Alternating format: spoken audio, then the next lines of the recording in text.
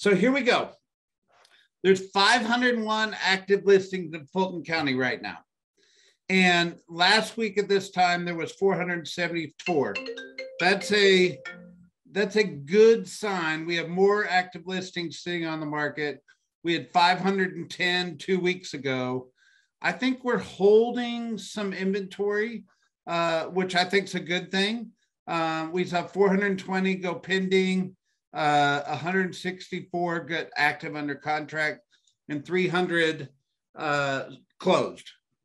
So in inside that number, if you kind of look, if here's the beginning of the year, we had the first week of the year, which we expected a climb, but we've just kind of held steady. Um, so I don't think that's a good thing or a bad thing. I think it just means uh, the listings are holding. Um, the closings went down a little bit. They typically do in the middle of the month. The contracts went up a little bit. Um, they typically do in the middle of the month.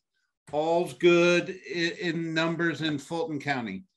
DeKalb County, we're looking at 287 active on the market, a little more than last week, a little more than the week before that, a lot more than the week before that. So actually the inventory, the blue line in DeKalb County is climbing, which is good. 243 pending, 172 closed.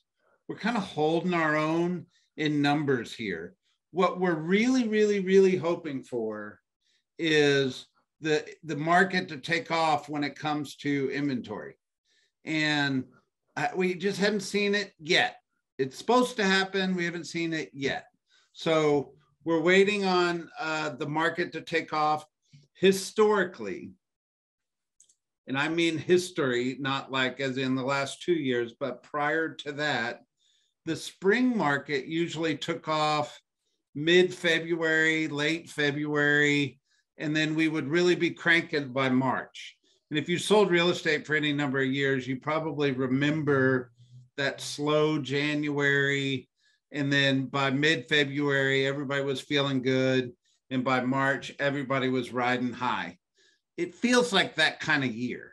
Now, that feels weird to us because the last two years, it started off flying high uh, in January, and we're just not feeling that right now. Now, in contrast, though, your buyers are very hot demand right now.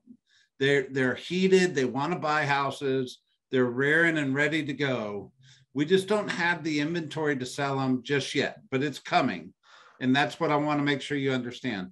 So 310, I'm in Cobb County, 260 a week before in active listings, 319 the week before that, 236 pending, and 198 closings. Same kind of story. Where if you take the cursor, if you can see my cursor and kind of go back, we went down at the end of November. We just haven't recovered in the volume of active listings or even the volume of pending or the volume of closings we were doing even in October last year. So here's here's what you need to know. That's pretty doggone normal. And it's just not normal as in the last two years, but it was pretty doggone normal from years past. So nobody panic. I used to make a joke as a, a team leader all my top agents would come into my office in January crying, wondering if their business was ever going to start. And by February, you couldn't even get on their calendar for a cup of coffee because they were busy. It happens every year. So just know it's normal and seasonal. Here's the reminder. Uh, if you go to the website, www.therealestatestats.com, it takes you directly to the spreadsheet. You can look at the numbers anytime you want. Um, okay, so let's go into some stuff here. Um, I want to make sure we start with a little education first. So there's this thing called the 10 year treasury note. And the 10 year treasury note is the most closely related to mortgage interest rates in the stock market. So this is a leading indicator, if you understand the vernacular, uh, to interest rates. But if you go back and look at the 10 year Treasury note over the last three years, let me get my cursor off here so we can see.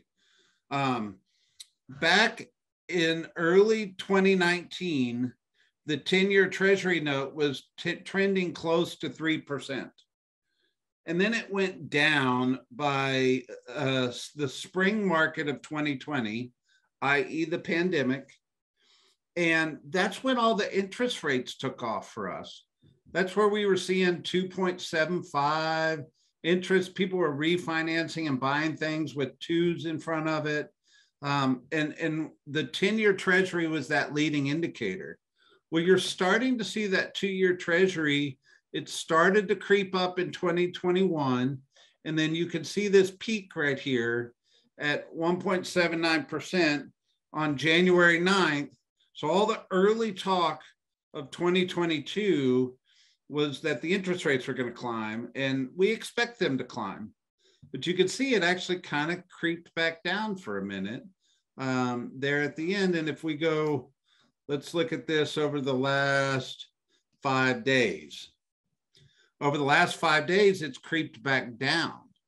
So, in theory, interest rates should creep back down just slightly right now. Um, but remember, we're talking 0.2% of a point in treasury yield that directly affects interest rates?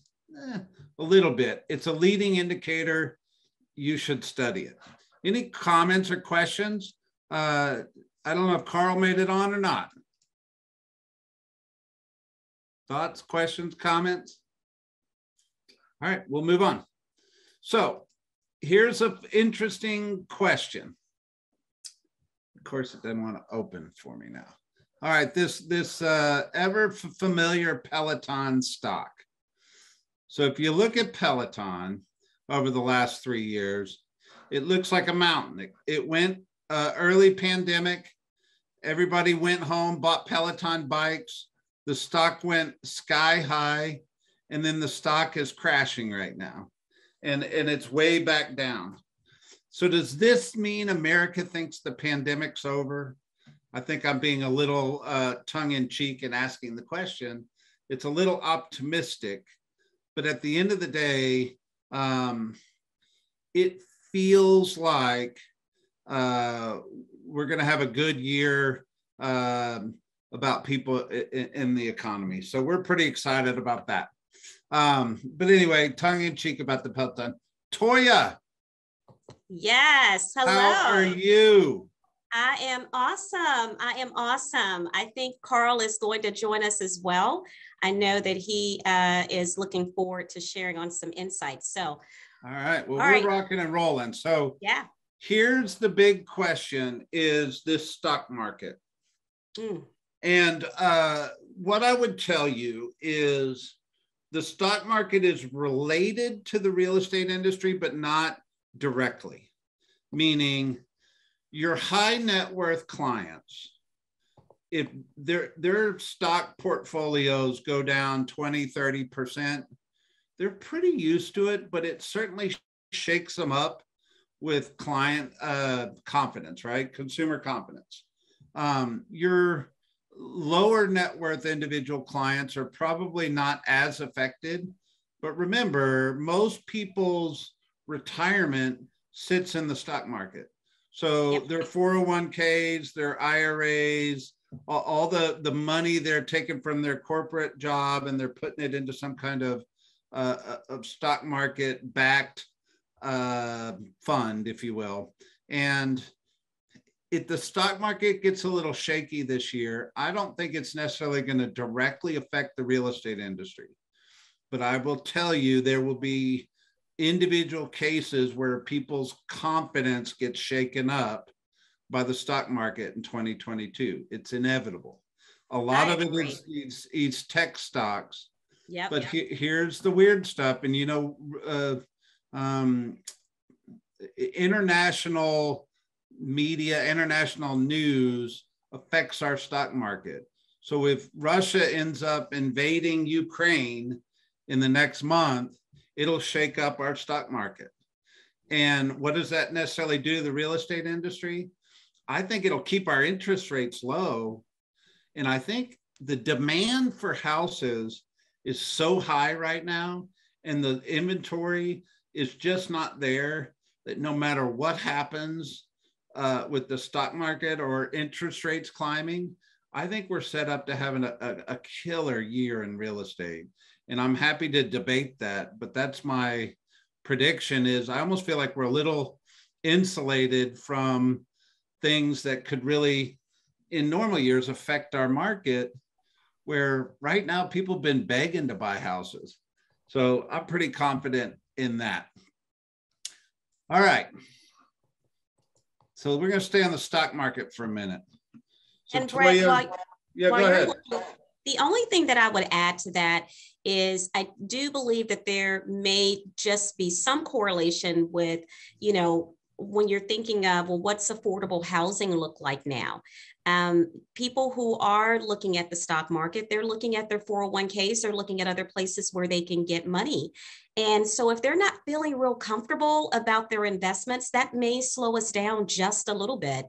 However, I think you're right. Interest rates, I think, are going to stay um, low, although we have seen an uptick. So it'll be interesting to kind of see what the other countries are doing and, and where we will fall with that.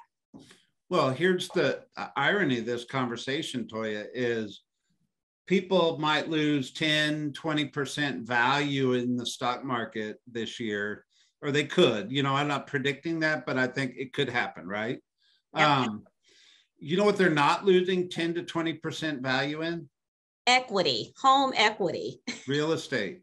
yes. So if our agents aren't figuring or connecting the dots around how helping people move money into the real estate holdings, um, real estate holdings is becoming one of the biggest hot uh, net worth wealth building growth opportunity. And it used to look like it was the barrier of entry was so great. But we have learned as an industry over the years if you want to invest in real estate we'll figure out how to help you do that whether it's in some kind of fund or uh, you buy your first house live in it for two years buy your next house keep the same one hard money lending you know there's all kinds of ways to help people invest in real estate and we should be experts at that I agree. Because the stock market is interesting because it does tell us a lot of things. So this article is talking about home builder stocks are a sell. Get rid of them. Inflation's hurting home builders, and it's really uh, it's creating a concern around some of the big production builders. Um, and it's really just because of uh, inflation and supply chain and and all the above, right? So inflation concerns, subsequent interest rate hikes by the Federal Reserves are a negative factor. They, they really think the home builders, while 2021 kind of felt pretty good for them, they're going to probably struggle a little bit in 2022. What do you think? I agree. I think we are seeing slowdown in our uh, new construction. Um, we also have seen incredible hikes um, for people that are building. If it's not a spec home and they can't close on it immediately. So I always say, you know who the best uh, people are to home to sell homes are those that are the the ones that are already living in one. Um, usually, if there's not a whole lot of repairs or anything of that nature, that is a win-win. And so you don't have to worry about is the lumber price going to go up you know what are the rates doing for the builders and how much money are they actually getting because they are tied to a lot that's happening so I think this is just another opportunity to talk with our sellers and people in our database is that, you know, hey, they're the hot commodity right now to sell their property.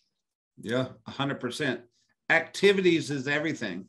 Um, But, you know, it's just kind of interesting because these builders, if their stock price takes a hit, what does the board of directors do? Uh, they're going to want that return because everywhere else in the real estate industry is thriving. And it'll be interesting to, to keep an eye on the builders in 2022. All right. Um, this is interesting.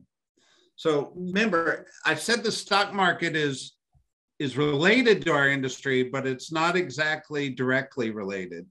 Well, when they say OfferPad's market cap slips below 1 billion, that means on the stock market, OfferPad is is valued at a billion dollars, and uh, and and it's gone backwards. Well, I find the whole iBuyer thing very interesting, and we were on a call on Friday, I think it Friday. was, yeah, where they were talking about how Atlanta is like the hotbed for institutional investing. And if I'm being honest, it has me a little bit nervous. I'm not concerned, but uh, certainly want to keep my eye on it because here's what I've paid attention to over the years. People know that big wealth is is created through real estate, and that means institutional investors know that too. And if you think back, Toya, um, ten years ago, you used to pull up searches in the MLS and you would actually see real foreclosures in the MLS. Like it was a bank owned property listed in the MLS. And it was kind of a joke because your buyers would all call you and say, Hey, I want a foreclosure. I, I want a deal, right? And but we would actually look and there would you would find foreclosures. Well, the big institutional investors figured out they could go to these banks and buy packages of property for big money and you actually saw the foreclosures stop coming actually to the MLS. We don't see a lot of foreclosures in the MLS anymore. That doesn't mean they're not there. It just means they're never coming to the MLS. Well, market's been so good, equity's been so good. Um, those big institutional investors are not buying those big packages from the banks any longer because there's not a lot of REO property out there right now. So what are they doing is they're actually going to these iBuyer companies and moving their money there.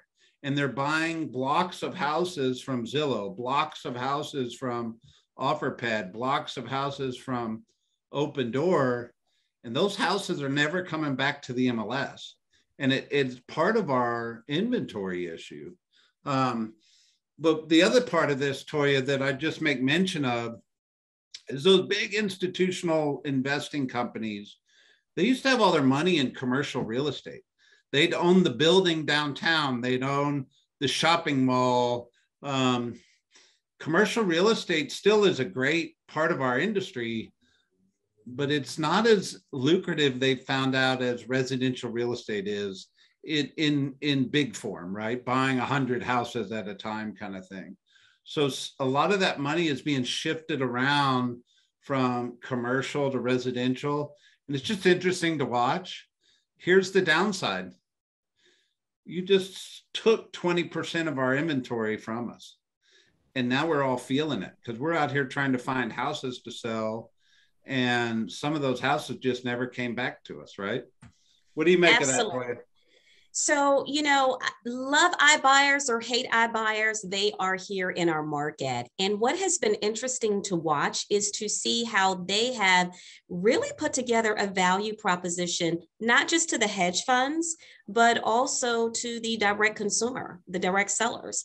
So I think it is something that we need to take a look at because I, when the days of when I started in real estate, it was truly just the traditional companies and it was really about knowing your market, farming your market.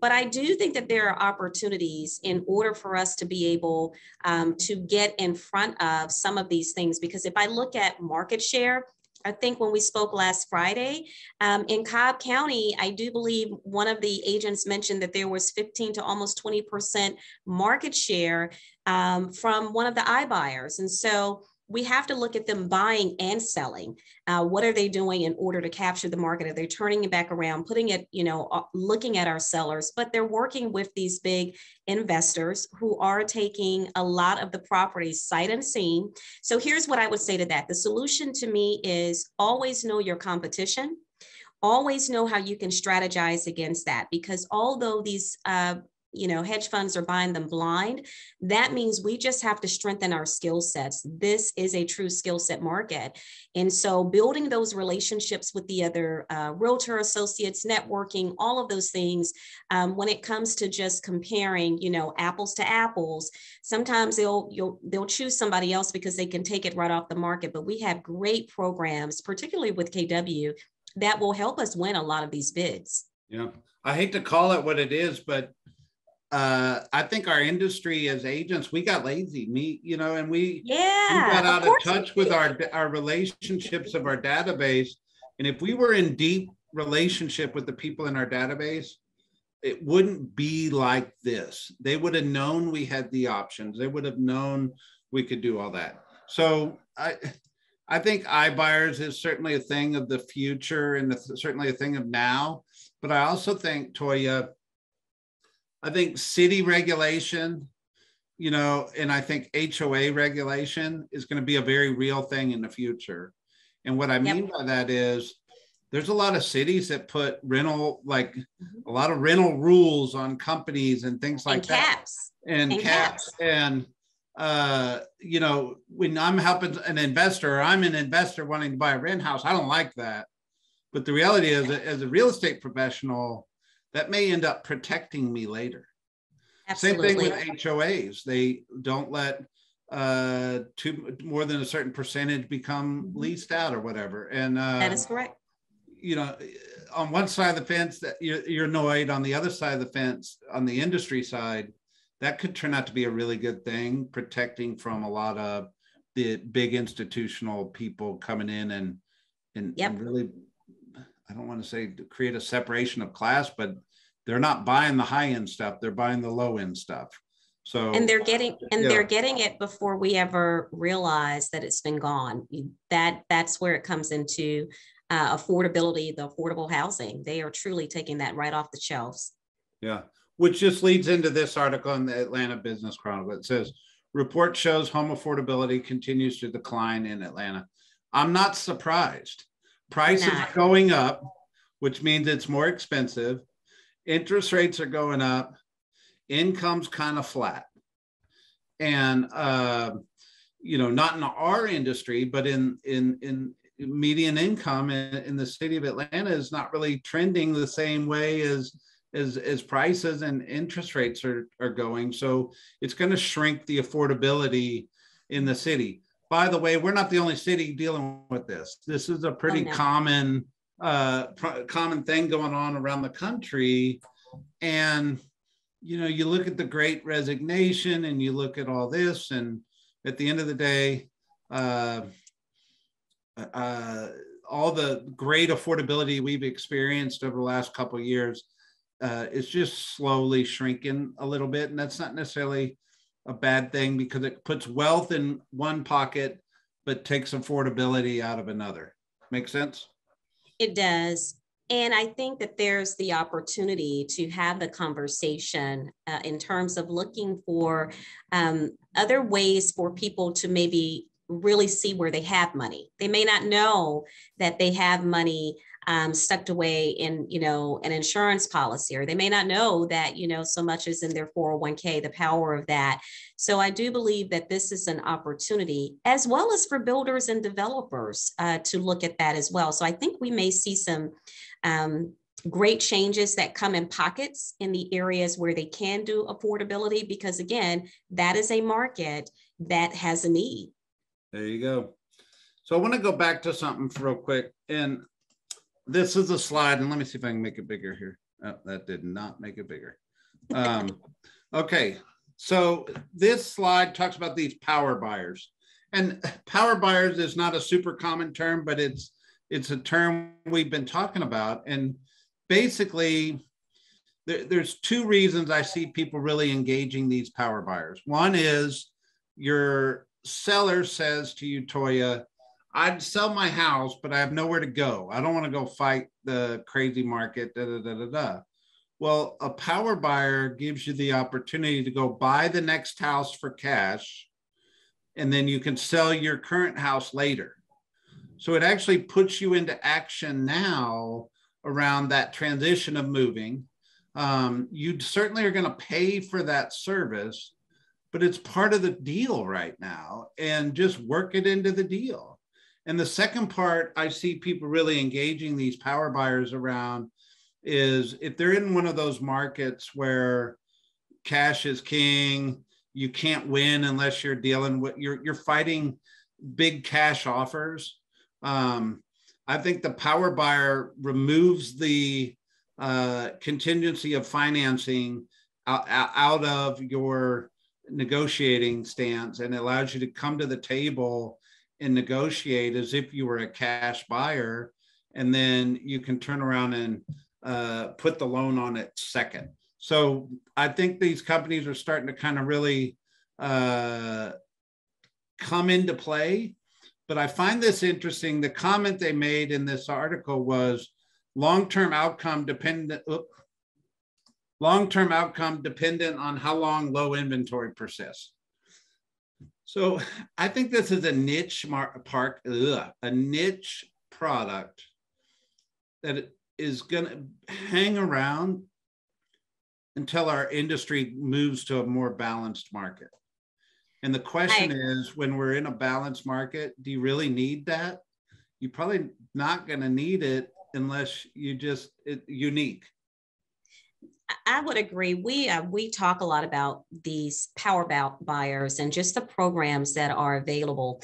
The one thing that I would say is the associates and agents really need to know the ins and out of these programs. We're finding once they get to the closing table, sometimes the buyers don't know all about the programs because the agents and so we always say we like to stay in our lane but this is where we have to again become the consultant if we're going to recommend any of these companies we really do need to know what the fee is because there is going to be a fee. Is the interest rate going to change? How much money more how much more money do they need to bring outside of their earnest money? Just so that they're clear on the terms. There's so many of these popping up. Ribbon is one another one i don't see it on the list but there's so many. And so as we are utilizing these tools i think you're right brett we're seeing them for the market of the moment and this is still the market of the moment we've been doing this now for about two years using these companies heavily uh, yet, what I am finding is sometimes our agents don't know all of the ins and out, and they're not able to really advise or consult with their clients to really explain the process. So, sure, they have their place for sure. Well, this is this is a fiduciary duty conversation. Yes, and this is. is a professionalism conversation, and this is a uh, skills conversation. You should know the skills of what all this is so you're advising your clients appropriately. Yep, um, yep. The other thing I thought was really interesting is if you look at the population growth of Atlanta, we went from 5.3 in 2010 to 6.1 in 2020 to 15% population growth over the last 10 years, where the US was experiencing a 7% growth which just says this is a pretty doggone good place to live and sell real estate, Toy, is what that says. It says also says we're in the land of opportunity right here in Atlanta. So, you know, when we're thinking about migration patterns and we're thinking about investments, um, those are things that we can be talking about to friends and family that live in other places because i think about my family that lives in california for the same square footage that they would pay you know there and here we're in two different worlds. So um, even investment opportunities are here especially if we're helping our clients with wealth building. Yep. So i like it. Uh median price is just cranking up. And the atlanta area is at $360000 um so it's kind of crazy. You can imagine what you bought your first house for compared yep. to what somebody's buying their first house for today, and it blows your mind. But anyway, Toya, tell me what what are the talking points this week that I need to bring back to my business? I would say, you know, the biggest thing is, um, and I love the speaker that we had last uh, last Friday. Um, really, just talking about going out, still creating our inventory. There's no, we already know what to do, we know how to do it, but really just getting in front of and staying in constant communication and touching our database. Um, we know that that's really what we should be doing. However, many of us are guilty that we may not be doing that at a very high level. The other part is really there's so many uh, programs that you can pair with what you're doing. So the ones that you set just showed, uh, in addition to that, just really being able to educate our clients on other options. And that's all they're looking for are options. Yeah. And here's the thing I would just remind us all we may make a statement that says we have low inventory. But the truth is, if I would get into activity with the people that I have a relationship with, I could create my own reality. And it's all based on what activity I'm willing to do. And, that, and that's how professionals think. And I will leave everyone with that thought today. Happy Monday. Happy Bye. Monday. Thank you.